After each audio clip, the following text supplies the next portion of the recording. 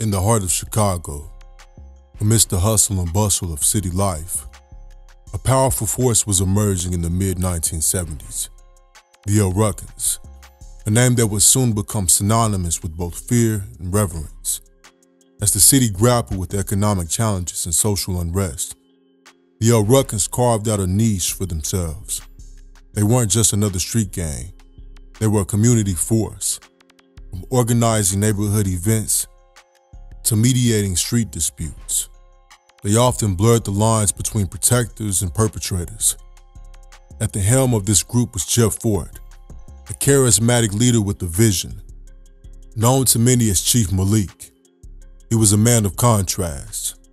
On one hand, he was seen as a beacon of hope, a leader who advocated for the rights of the marginalized. On the other, he was a shrewd strategist, always a step ahead of his adversaries. Under Fort's leadership, the group grew in numbers and strength. Their operations expanded, and so did their ambitions. As the El Rukns solidified their position in Chicago's urban landscape, they also caught the attention of law enforcement. But for the residents of the neighborhood they dominated, they were more than just a gang. They were a symbol of resilience, unity, defiance against a system that is often seen stacked against them. But before we get into it, it's time for a word from the sponsors of this video, Rocket Money. How many of us have come across a subscription that we forgot we had, or one that we haven't used for a long time? I know I have, especially in today's world, where looking after your money seems more important than ever. It's all too easy to lose track of these sort of things, both big and small and end up paying for months on end for services that we no longer need. Well, today's sponsor, Rocket Money, is here to help. Rocket Money is the personal finance app that helps you to cancel subscriptions, lower bills, and manage your money better. I love using Rocket Money to cancel these unwanted and forgotten subscriptions. Instead of having to go through manually locating and getting rid of them, Rocket Money can safely and securely identify them for me. It even lets me cancel them from within the app with just a couple of taps no need to worry about the customer service calls. Rocket Money has helped save its customers an average of $720 per year, with over $500 million in canceled subscriptions. To try it out today and unlock more features with premium, follow my link, rocketmoney.com slash 19xx. Or click the link in the description to get started for free. And now, back to Jeff Fort and El Rukns. Real quick, Around 97% of all of my viewers aren't subscribed to my channel. If you enjoyed the content, please leave a like, subscribe, and drop a comment below. It really helps grow the channel. Thank you.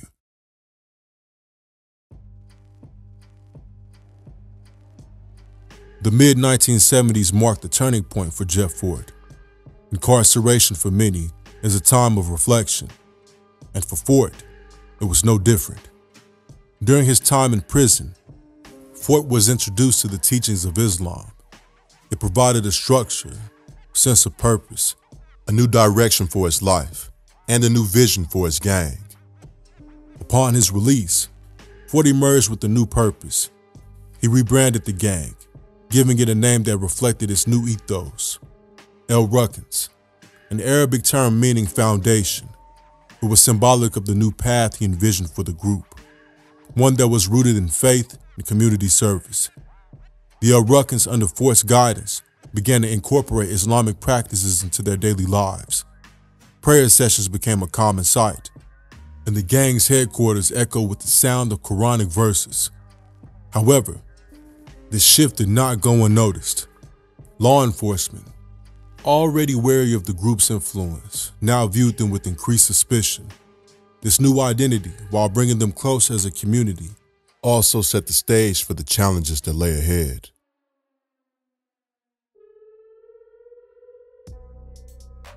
As the El Rukns grew in influence and stature, they inevitably drew the attention of the U.S. government. The 1980s saw a heightened focus on organized crime and street gangs, and the El Rukns, with their unique blend of criminal activity and religious fervor, were squarely in the crosshairs. The government's pursuit was relentless. The El were under constant surveillance, and in 1983, their worst fears were realized. Jeff Fort, the charismatic leader who transformed the gang, and given it a new purpose was once again behind bars. Determined to dismantle the group from the inside out, the government introduced a new tool in their arsenal, a wiretap on Fort's prison phone. Every conversation was now laid bare for the authorities. The wiretap provided a window into El Rukn's operations, the plans, most importantly, the connection to larger, more sinister plots. Fort navigated the challenges of prison life, unaware of the extent to which his privacy had been invaded. The wiretap will be a game changer, setting the stage for a series of events that would shake the very foundation of the El Rukns and challenge their place in the annals of Chicago history.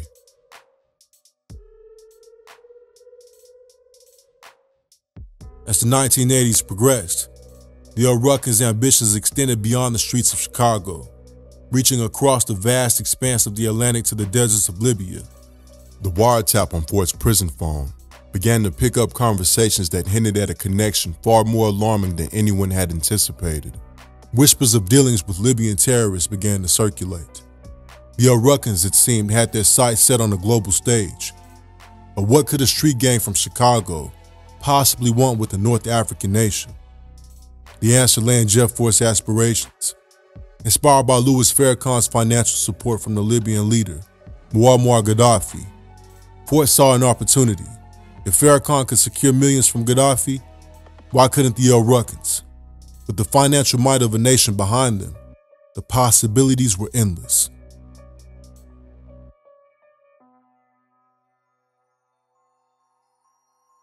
The US government grew increasingly alarmed. The potential threat posed by a street gang with ties to a foreign nation known for its support of terrorism was too significant to ignore. The FBI, recognizing the gravity of the situation, swung into action, devising a plan to ensnare the El Rukns. They introduced an undercover agent into the group's inner circle, posing as an arms dealer with connections to terrorist networks. The agent offered the gang a weapon of immense power, an M72 series light anti-tank weapon.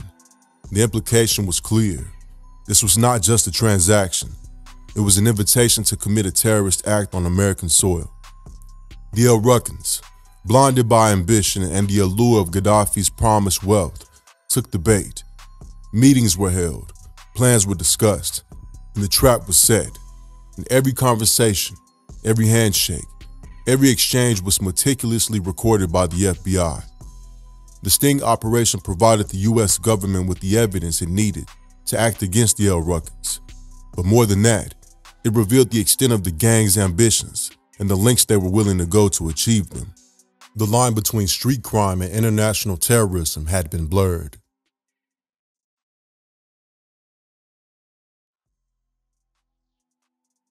As their ambitions grew, so did their audacity. Their dealings were no longer confined to the shadows of Chicago's alleyways.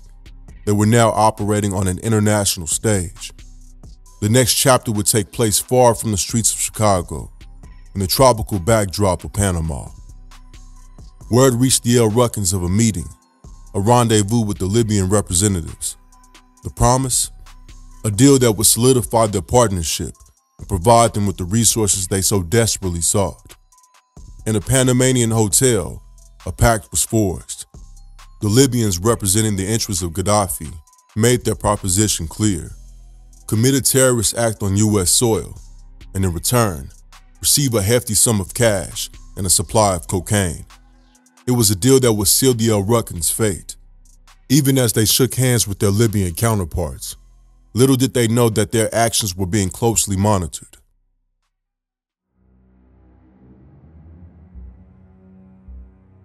Nineteen eighty-seven, the year that would see culmination of the U.S. government's pursuit of the Rukns. The stage was set for one of the most sensational trials in American history with the nation's eyes fixed on Chicago's courtroom.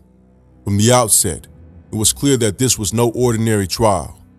The atmosphere was thick with tension and anticipation, and as attendees made their way into the courtroom, they were met with metal detectors and state police dogs patrolling the corridors.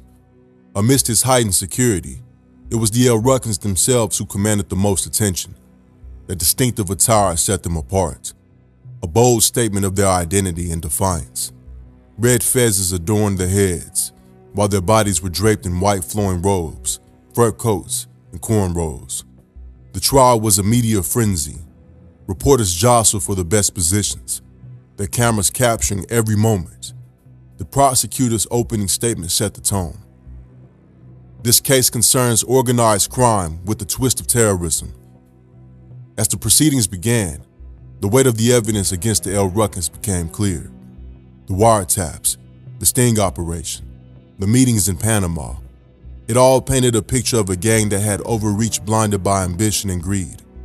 But as the evidence was presented, they remained defiant.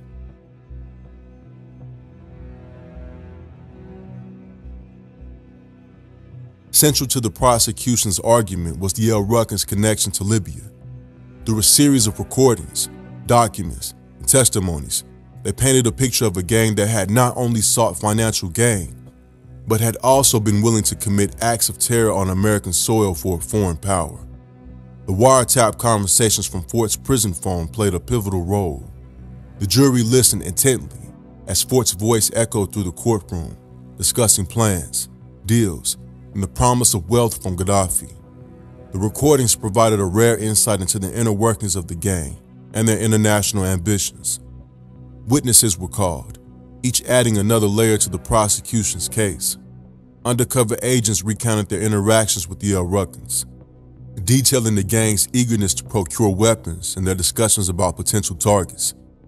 The testimony from the sting operation was particularly damning, with agents describing how the group had been willing to purchase an anti-weapon for a terrorist act. But perhaps the most compelling evidence was the account of the meetings in Panama.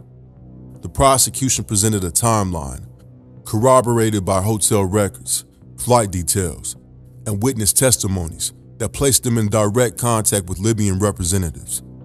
As the days turned into weeks, the weight of the evidence seemed insurmountable. The El Rukns, once feared and revered on the streets of Chicago, were now on the defensive, battling not just for their freedom, but for their very legacy.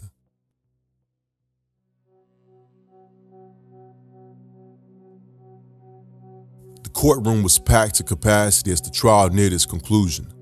The jury returned with their verdict guilty. The courtroom erupted, a mix of relief, shock, and disbelief.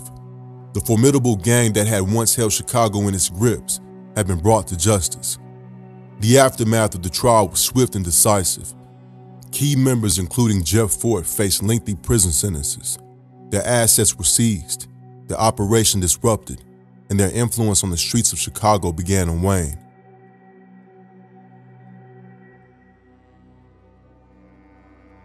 In the wake of the verdict, Questions began to emerge about the conduct of the prosecution. Allegations of prosecutorial misconduct surfaced, casting a shadow over what had been hailed as a significant victory against organized crime. Rumors of bribes, coercion, and the suppression of evidence began to circulate, tainting the integrity of the trial. As investigations into these allegations deepened, startling revelations came to light. It was discovered that some witnesses, key to the prosecution's case, had been provided with drugs and other favors while in custody. The fallout was immediate and far reaching.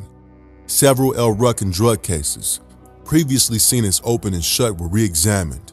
In some instances, convictions were overturned, leading to the release of members who had been incarcerated based on questionable evidence.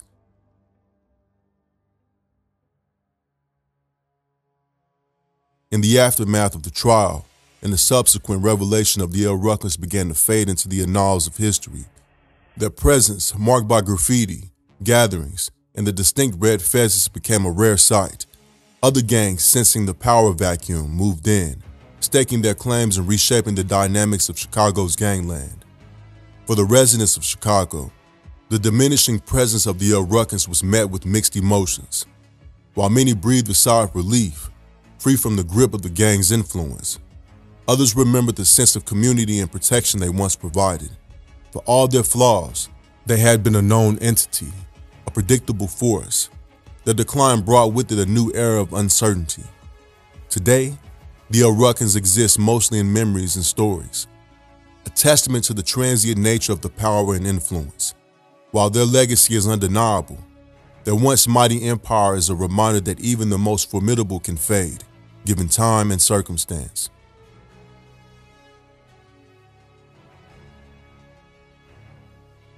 As the years pass and the world continues to evolve, the story of the El Rukns serves as a cautionary tale. It reminds us of the ever-present challenges of urban life, the complexities of global politics, and the thin line that separates ambition from overreach. In the chapters of American history, the El Rukns will forever be remembered, not just for their crimes, but for the profound impact they had on the nation's psyche.